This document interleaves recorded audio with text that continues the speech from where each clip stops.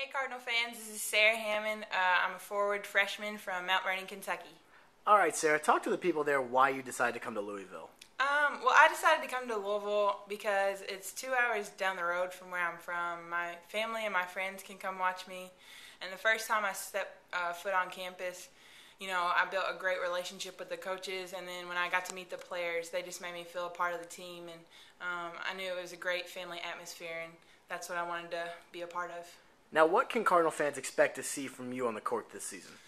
Um, just bring strength and size uh, to the team. I know we're a very um, dominant guard-oriented team, and so um, coming in with size, I just hope to build upon um, the great talent that we have here by um, whatever the coaches ask me to do, whether that's rebound, play defense. Now, talk about Coach Walz. If you could use one word to describe Coach Walz, what would it be? Um, energetic.